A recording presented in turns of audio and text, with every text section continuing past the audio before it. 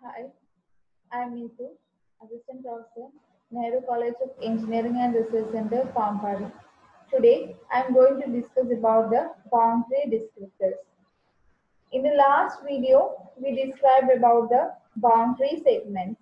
Now, boundary descriptors, which describes the boundary of a region using the features of boundary. Okay, boundary descriptors are nothing but which describes the boundary of a region using the features of the boundary. First one in this boundary descriptors are simple descriptors. So simple descriptors include the length, diameter, major axis, minor axis, eccentricity, basic, rectangle, curvature, etc. So first one is length. So length is nothing but it's one of the simplest descriptors and it gives the number of pixels along a boundary.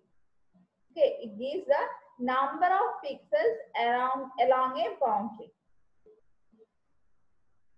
And the length is equal to number of vertical and horizontal components, the number of horizontal, vertical and horizontal components plus root 2 into number of diagonal components. Okay. So, length of a boundary is one of the simplest descriptors which gives the number of pixels along, say, along a boundary and it is given by number of vertical and horizontal components plus root 2 into number of diagonal components. Next is diameter and it is represented as diameter of the beak that is along an axis okay is given back by maximum of d of pi comma pj where pi and pj is the points on the boundary and d is the distance measure a distance measure. Next comes the major axis and it is defined as the line segment that is connecting between the two extreme points of its diameter the line segment which connects two extreme points of its diameter. Okay, next comes the minor axis. It is defined as the line which is perpendicular to the major axis. So next is eccentricity. It is the ratio of major axis to the minor axis. Okay, it is the ratio of major axis to the minor axis. And this eccentricity is equal to major axis by minor axis. Next is basic rectangle. It intersects, the major axis intersect with the boundary at two points and the minor axis also intersect with the boundary at two points. A box which completely encloses the boundary by passing these four outer points.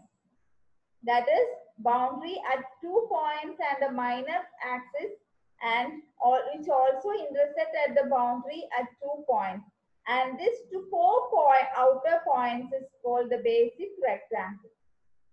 Okay, and the curvature of a boundary is defined as the rate of change of slope.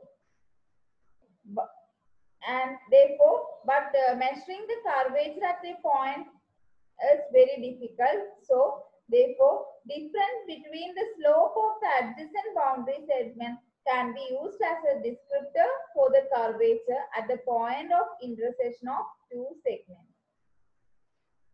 Okay, at the two segments. So here all says, says about the boundary descriptors. These are some basic descriptors which describes about the boundary. So that is that that is why they are called simple descriptors. They are length, diameter, major axis, minor axis, eccentricity, basic rectangle and curvature. Thank you.